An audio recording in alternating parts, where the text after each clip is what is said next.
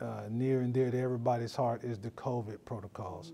So folks are coming in, uh, they're, we're being tested, where we understand that, uh, I'll even go back to uh, last year.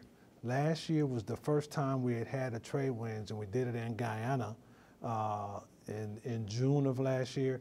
1,400 from 18 different countries, and I will tell you, we had not one COVID protocol, not one COVID positive due to the exercise itself. Uh, you know, people are tested, people are given the vaccines. When we're in the formations, we're doing a lot of stuff outside so that, you know, in which they're training in the field sites. Uh, if we're in classrooms, then you have doors open, you have circulation.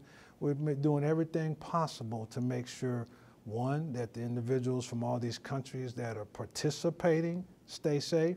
Two, that we don't cause any problems inside the country of Belize, you know. And three, that doing all of that, which takes a lot of uh, a lot of all hands on deck, a lot of medical professionals, because we'll have those folks here as well from Southern Command uh, headquarters that will also team with the ones on the ground to make sure, hey, this is what we need to do, this is how we need to do it, this is when we need to do it, and we're going to do our very best to make sure all the people coming in do not deviate from what has to happen to keep Belize safe.